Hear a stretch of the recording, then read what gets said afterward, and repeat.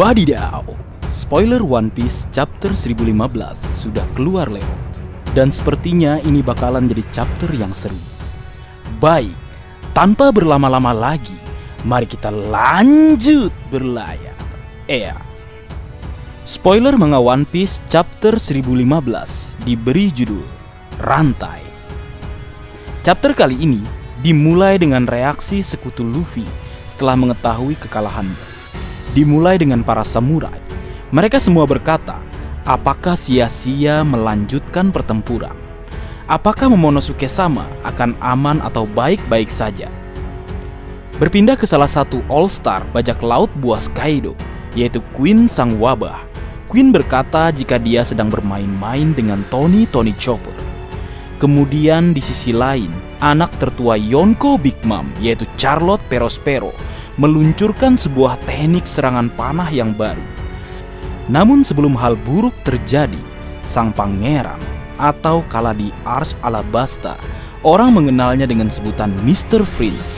Yap, karakter yang ditunggu-tunggu aksinya dalam Arch Wano Kuni atau di Pulau Onigashima setelah sebelumnya berhadapan dengan King the Wildfire meski hanya singkat dan terjebak dalam jaring laba-laba Black Maria. Kali ini, Vinsmoke Sanji muncul dan menyerang Queen dan juga Perospero. Widih, keren. Gak sabar nunggu di versi manganya. Kini akhirnya kita akan melihat pertarungan antara Vinsmoke Sanji melawan Queen Sang Wabah. Tebakan kita yang cukup lama kita duga terjadi Leo. Ya, relevan sih mengingat Queen sepertinya berhubungan juga dengan keluarga Vinsmoke atau lebih tepatnya Vinsmoke Judge. Dan pertarungan keduanya tentu bisa kita katakan sebagai pertarungan sains.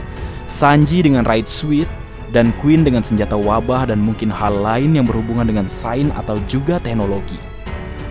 Berpindah ke tempat lain, Kozuki Momonosuke memberitahu semua orang melalui katak Maris bahwa kapten tercinta kita, Baka Sencho Monkey di Luffy, ternyata masih hidup.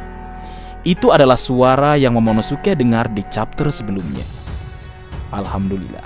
Tinggal tunggu bagaimana cara Luffy selamat ya Leo. Apa dengan bantuan kapal selam laut, ikan koi, manusia ikan, Tausan Sani, Tengoyama Hitetsu, Hiyori, atau justru seperti yang kukatakan sebelumnya, Luffy akan terbawa arus dan kembali terdampar di pantai negeri Wano Kuni seperti di awal Arch dulu. Menarik menunggu kebenaran yang akan Oda Sensei ungkap selanjutnya. Kembali ke cerita, Shinobu dan Momonosuke melarikan diri dari Kaido yang terus mengejar mereka. Dan Luffy diselamatkan oleh oleh apa ya? Hmm, oleh siapakah itu Leo? Ayo tulis pendapat kalian di kolom komentar agar kita bisa berdiskusi. Berpindah ke tempat lain, nampaknya terjadi sesuatu seperti pembicaraan antara Zeus dengan Nami. Nah, apakah seperti yang kita duga sebelumnya, Zeus berhasil selamat meski telah dimakan oleh Hera dan kemudian benar-benar menjadi senjata Nami. Widih, gak sabar menunggu kebenarannya. Di sisi lain, kita melihat Eustace Kapten Kid dan juga Trafalgar di Waterloo bertarung melawan Yonko Big Mom.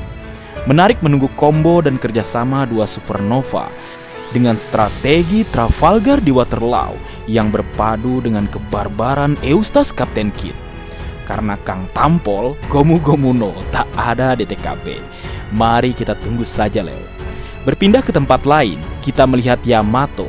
Dia berteriak, Kaido! Ujarnya. Mendengar itu Kaido berkata, Panggil aku ayah Yamato, ujarnya.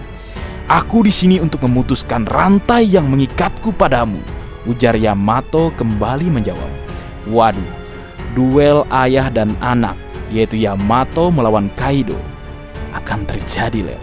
Bagaimana ya pertarungannya? Mari kita tunggu bersama kebenaran yang akan Oda Sensei ungkap selanjutnya. Dan kembali lagi, di bagian akhir kata-kata yang selalu nakama tunggu. Minggu depan tidak libur. Mantap.